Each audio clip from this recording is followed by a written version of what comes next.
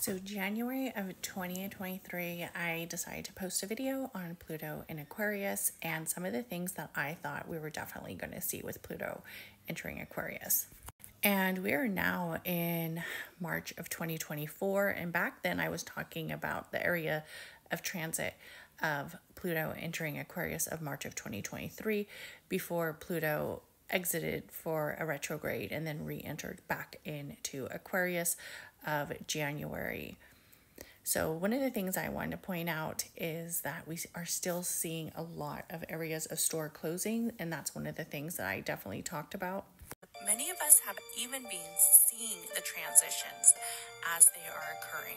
So, Pluto, the smallest and one of the furthest most away planets, is really known for its area of transformation, transition, rebirth, and overall closing chapters of certain eras. Also has a huge horizon on technology and the way that money is consumed, and also the way that people are really acknowledged in having power through.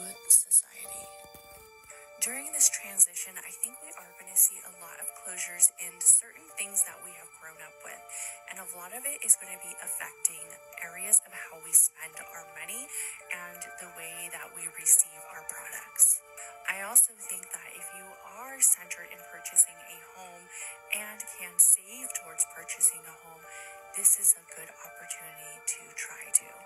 I don't necessarily think the market is going to tank but I think there are going to be opportunities where you might be able to.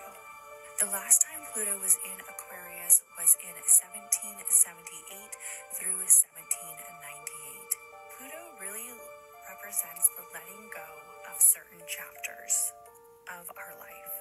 And I think we are seeing it. One of the things that I think we're really going to lose is the mall. Of shopping in a huge mall, I think, is already feeling a little distorted. I mean, how is your mall looking? You see, many big brand name stores are closing if they haven't already closed, and many stores are suffering. A lot of this has to do with the way we shop and also how we receive our goods. We usually don't pop into a store. Most of the time now, we're getting it online these big corporations are suffering. Don't worry, they're somehow all tied into. Even stores are closing. So, since that, we've been really hearing that a lot of stores are closing in San Francisco. And in fact, I think the Macy's in Union Square is closing, where a lot of people would go take pictures with their Christmas tree. And it just feels like there is this energy centered around a mass exodus of the city for a lot of retailers. I want you to watch this. Now, y'all tell me, why is all of these major companies, bro? We talking about the pushers and movers of the, you feel me? Of the shits. Why are they leaving? Oh, all of the major stores in San Fran is closing down. Yo, like the Disney store, bro. Like the Disney store's leaving. Yo, I really want y'all to think about this shit, bro. This is not. This is not normal.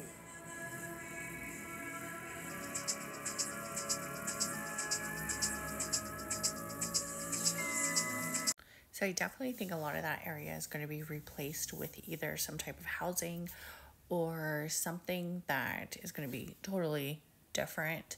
Um, other real re, other real re, retail giants are not going into any of those at all.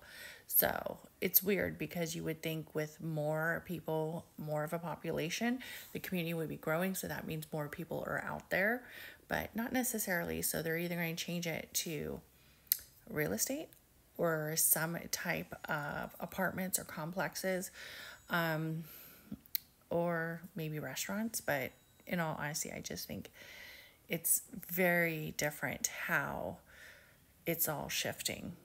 Maybe it's going to be a positive thing or maybe it's going to be a negative thing, but it's definitely going to be life changing for many people in the metropolitan city. So.